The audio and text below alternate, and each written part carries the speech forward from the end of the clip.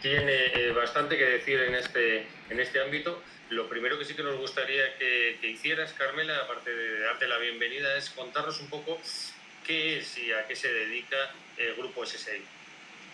Pues, bueno, gracias por la invitación y bueno, pues espero contribuir a este apasionante debate que es el de las personas mayores, la longevidad, el envejecimiento de nuestra sociedad. Bueno, Servicios Sociales Integrados es un grupo cooperativo, destacaría esto, eh, que integra personas eh, profesionales que trabajan en el ámbito de la atención a personas que están en situación de vulnerabilidad social en el País Vasco.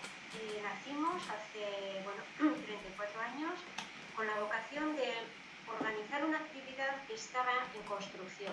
Los servicios sociales en España, en Euskadi, nacen en los años 80 para poner orden, eh, profesionalizar actividades que se estaban produciendo, bueno, pues desde el voluntariado, desde eh, formatos de semiprofesionalización. Así nacimos eh, el Ayuntamiento de Bilbao, junto con Cáritas Diocesanas y la Diputación Foral de Vizcaya, se están dando cuenta que la actividad de cuidados en el domicilio necesitaba organizarse. Bueno, contactan con una persona, María Luisa Mendizábal, que es el alma mater de este proyecto, bueno, y 35 personas se reúnen en torno a este reto, no sabían lo que era una cooperativa y de un día para otro se levantan siendo empresarias, socias, dueñas de una organización en dos años. Éramos 250 y cinco años después éramos 500 trabajadoras. Trabajamos en contrato público, con lo cual, bueno, pues a través de procesos de subrogación entran y salen personas de la organización, en torno a las 500 personas estamos trabajando en dos áreas eh, bien diferenciadas.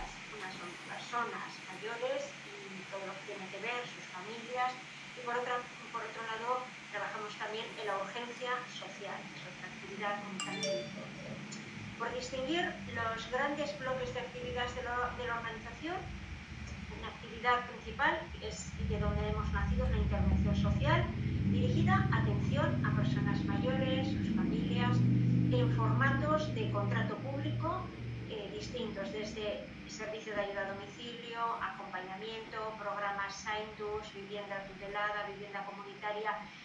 Eso es el core de nuestra organización.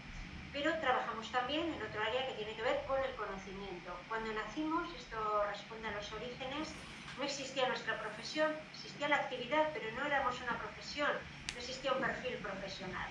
Eh, María Luisa Mendizábal desde el inicio pensó que nos teníamos que formar para convertirnos en profesionales. ¿no? El centro de formación que soy, Servicios Sociales Integrados, nace también hace 34 años con la inquietud de dotarnos de competencias para tener un desempeño profesional adecuado.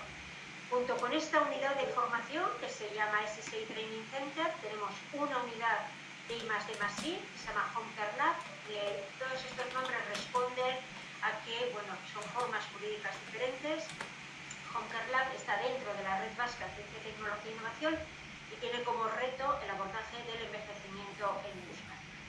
Y de reciente creación hace cinco años y mm, rentabilizando todo este conocimiento que se produce en la intervención social, que se produce en más I y que se produce desde el área de gestión de conocimiento, tenemos una unidad que trabaja en el ámbito del emprendimiento. Trabajamos con personas que quieren emprender eh, orientándoles sobre las oportunidades que genera el envejecimiento en Euskadi. Estas serían las cuatro grandes bloques de actividad en las que estamos trabajando. Principalmente nos preocupa cómo vamos a envejecer, qué nuevos perfiles profesionales tenemos que identificar, qué nuevos modelos de atención, eh, si el domicilio, como hoy habéis recogido en el titular de, de este diálogo, va a ser el lugar en el que desde Europa, en el cuarto pilar de los eh, derechos sociales se está apuntando que queremos envejecer en el domicilio. Pues yo creo que nos tenemos que preguntar, ¿podemos envejecer en el domicilio? ¿Los domicilios reúnen condiciones? ¿Los profesionales que están trabajando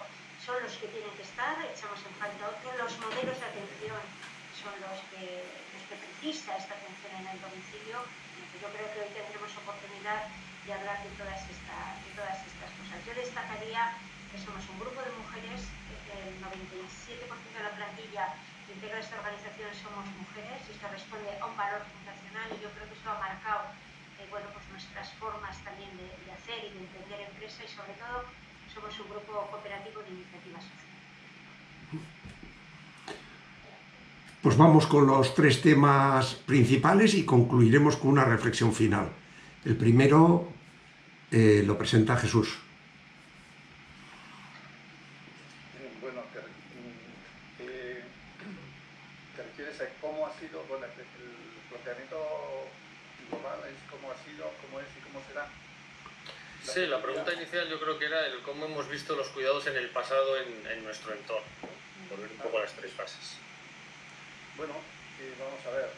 Bueno, primero estoy encantado de, de haberte conocido, eh, Carmele, porque, mm, bueno, me has dejado, casi no sé ni qué decir después de lo que has comentado, porque me parece tremendo y, buenísima la actividad que lleváis.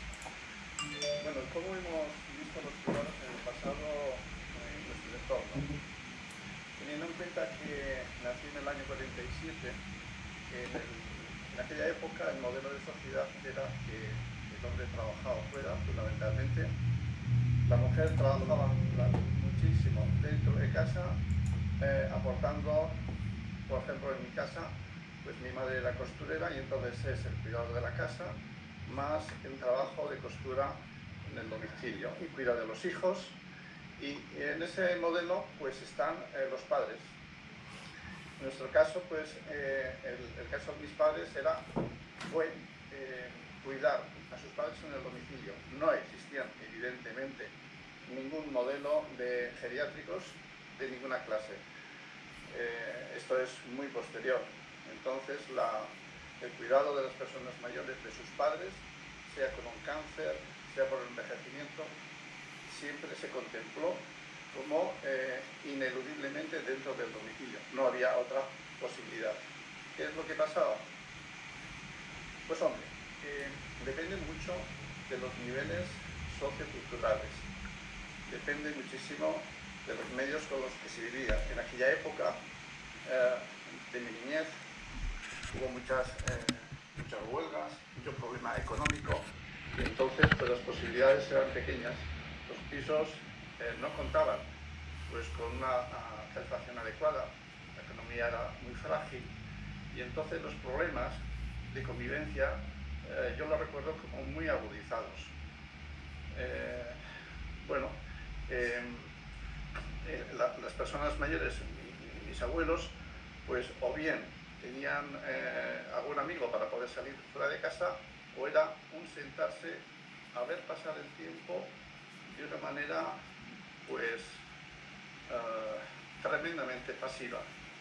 Eh, no existía posibilidades eh, o bien darte una vuelta a la galea o hablar con un amigo o oír la radio o quedarse sentado esperando a que pase el tiempo.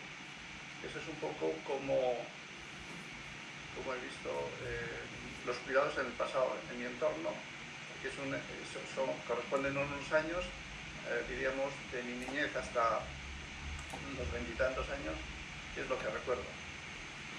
No sé si esto es suficiente o no. Sí, igual, eh, a ver, ahora, bueno, muy brevemente, yo creo que, claro, cuando hablamos de envejecer en el hogar, a lo largo de, del tiempo, pues los hogares eran diferentes, las familias eran diferentes, el envejecimiento era diferente. Yo he tenido, tuve la suerte, mis hermanos y yo,